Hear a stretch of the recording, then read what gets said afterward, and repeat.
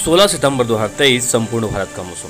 स्वागत है आपका हमारे चैनल में। हम बात करें मौसम विभाग के लेटेस्ट अपडेट की। क्या बड़ा अपडेट है मौसम विभाग का? चलिए जान लेते हैं। यदि आपने अभी तक चैनल सब्सक्राइब नहीं किया सब्सक्राइब करें वो बेल आइकन दबाएँ इस अपडेट रहें आप सभी मौसमी खबरों के साथ, काम की खबरों से अपडेट किस प्रकार से बना हुआ है वर्तमान में मौसमी सिस्टम चलिए जान लेते हैं। गहरा निम्न दबाव का क्षेत्र उत्तर छत्तीसगढ़ और आसपास के क्षेत्रों पर बना हुआ है। इससे संबंधित साइक्लोनिक सर्कुलेशन ऊंचाई के साथ दक्षिण की ओर झुकते हुए औसत समुद्र तल से सात दशमलव छः किलोमीटर ऊपर तक फैला हुआ है। वहीं अगले 24 घंटों के दौरान इसके मध्य प्रदेश में आगे बढ़ने की संभावनाएँ हैं।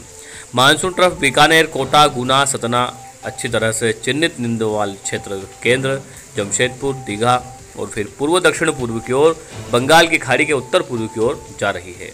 वहीं 15 सितंबर की रात तक एक ताज़ा पश्चिमी विक्षोभ पश्चिमी हिमालय को प्रभावित करने की संभावनाएँ बनी हुई है। इस प्रकार से है मौसमी सिस्टम।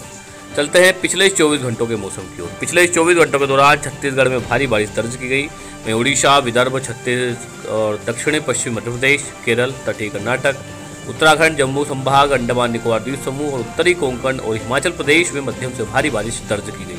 वहीं पश्चिम बंगाल, मध्य प्रदेश, झारखंड, उत्तर पश्चिम, उत्तर प्रदेश, पूर्वी राजस्थान, मणिपुर, मिजोरम, तेलंगाना और लक्षद्वीप में हल्की से मध्यम बारिश दर्ज की गई।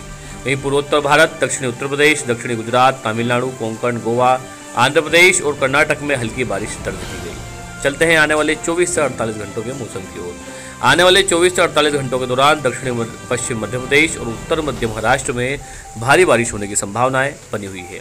वहीं पूर्वी राजस्थान में मध्यम से भारी बारिश संभावना है। वहीं पूर्वी गुजरात, कोंकण, गोवा, तटीय कर्नाटक, केरल और अंडमान